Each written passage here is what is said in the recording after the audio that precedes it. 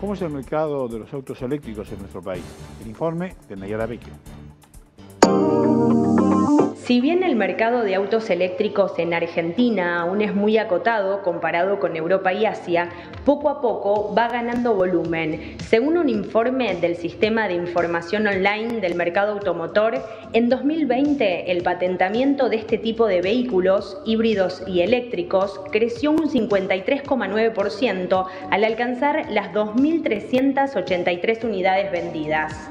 Primero, para tener un panorama, el año pasado se vendieron unos 350.000 autos en total del mercado en Argentina, de los cuales híbridos, los aquellos que llevan motor de combustión y un motor eléctrico, se vendieron unos 2.400 aproximadamente.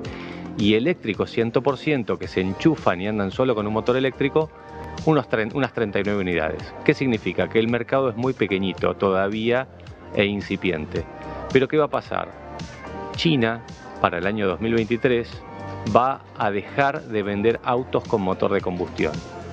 Eso va a hacer que, va, que haya como una explosión que, se está esperando, que va a hacer crecer todos los mercados. Estamos muy contentos con, con, los resultados que ha tenido la venta de este modelo Nissan Leaf.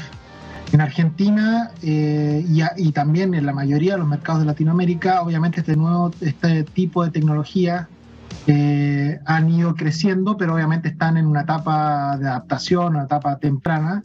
La desventaja hoy de un auto eléctrico es la autonomía, o sea que es corta, el precio que es muy elevado para comprarlo y el tiempo que tarda en recargarse eh, y la poca infraestructura que hay para cargarlo.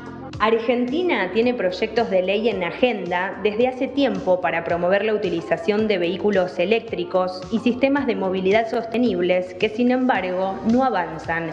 Solo están vigentes decretos que benefician la importación de este tipo de vehículos y que otorgan aranceles preferenciales para la importación.